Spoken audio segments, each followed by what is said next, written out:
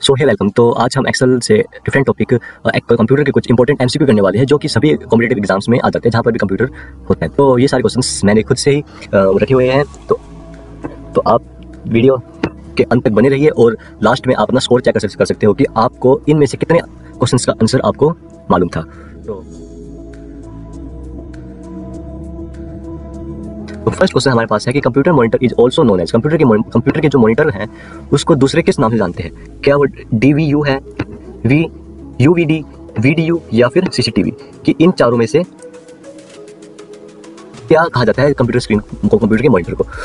इसका right answer है video video monitor का दूसरा नाम है और वीडियो की फुल फॉर्म होती है video display unit video display unit is the full form of video and video is also known as monitor तो फटाफट से आप नेक्स्ट क्वेश्चन की तरफ़ चलते हैं। तो नेक्स्ट क्वेश्चन है यहाँ पे arrange in ascending order unit of memory यहाँ पे टी है के है जीबी है और एमबी है। इन ऑप्शंस को, इन ऑप्शंस को देख के हमें इसको असेंडिंग ऑर्डर के अंदर रखना है।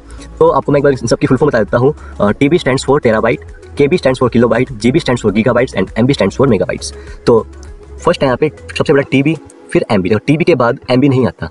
टी बी बाद एम बी नहीं आता। ये अगर इस तरफ़ होता, और जी बी अगर इस तरफ़ होता तो ये रिज़ल्ट होता हमारा। तो फ़िलहाल A is the is the not right answer second second भी इज़ नोट राइट आंसर क्योंकि एम बी एक छोटी यूनिट है, और टी बी एक बड़ी यूनिट है, इसको रॉन्ग ऑर्डर में रखा हुआ है।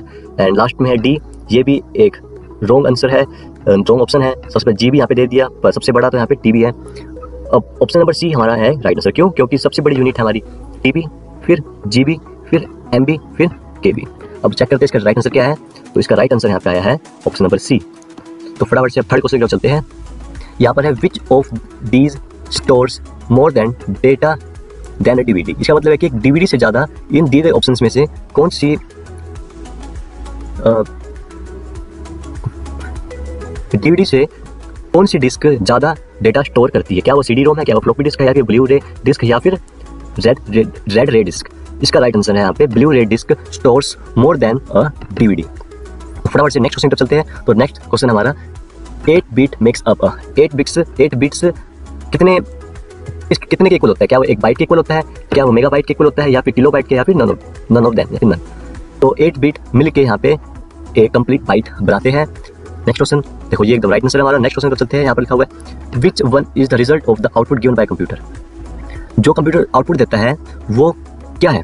उसके रिज़ल्ट को हम क्या बोलते हैं? क्या एक्सकर्जन है? या एक्सकर्जन है? या इंस्ट्रक्शन है? या फिर वो इनमें से कुछ नहीं है? या फिर वो डेटा या इन्फॉर्मेशन है? कि जो आउटपुट जो कंप्यूटर जो हमें आउटपुट देता है, वो एक डेटा भी हो सकता है और इन्फॉर्मेशन भी हो सकता है। और डेटा और इन्फॉर्मेशन के बीच में अगर आपको डिफरेंस जानना है तो आप कमेंट कर दीजिएगा। मैं डेटा और इन्फॉर्मेशन के बीच में एक अलग से सेपरेट वीडियो बनाऊँगा, जिसके अंदर आपको मैं डेटा और इन्फॉर्मेशन के बीच में आपको कंप्लीट डिफरेंस आपको मैं बताऊँगा। तो data and information is the right answer so thanks for watching तो ये थे हमारे फाइव क्वेश्चन जो कि कॉम्पिटेटिव एग्ज़ाम को देख के हमने इसको बनाए थे। और आप हमें बताओ कि आपका, आप हमें कमेंट करके बताओ कि आपने फाइव में से कितना स्कोर आपने किया। तो जितना भी आपका स्कोर बना वो आप कमेंट कर दीजिएगा। अगर आपको इसमें, इन क्वेश्चंस में से आपको कोई स्पेसिफिक टॉपिक के ऊपर आपको वीडियो चाहिए हो तो जैसे कि मैंने आपको कहा कि डेटा और इन्फॉर्मेशन के बीच को डिफरेंस आपको जानना है तो आप कमेंट कर दीजिएगा, मैं दोनों बीच में आपको डिफरेंस ज़रूर बताऊँगा मैं। इसी टाइप से अगर आपको इन पाँच क्वेश्चन में से किसी भी एक क्वेश्चन पे एक सेपरेट एक अलग से वीडियो बनाना, समझना हो टॉपिक तो आप मुझे बता दीजिएगा, मैं एक अलग से वीडियो बनाऊँगा और उसको अच्छे से एक्सप्लेन करने की मैं पूरी कोशिश करूँगा। So that is for today guys और मिलते हैं आपको नेक्स्ट वीडियो में, तब तक लिए बाय और आप अपना स्कोर कमेंट बॉक्स में ज़रूर कमेंट कर दीजिएगा। Thank you